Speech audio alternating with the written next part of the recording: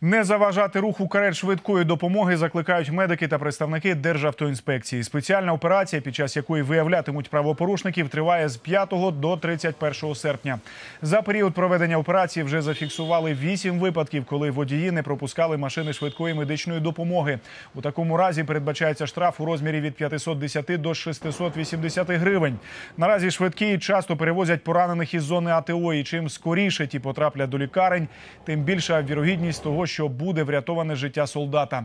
Лікарня імені Мечникова та військовий шпиталь майже щодня приймають постраждалих військових. В управлінні ДАІ прийняли рішення супроводжувати карети швидкої допомоги черговими групами та звільняти проїжджу частину.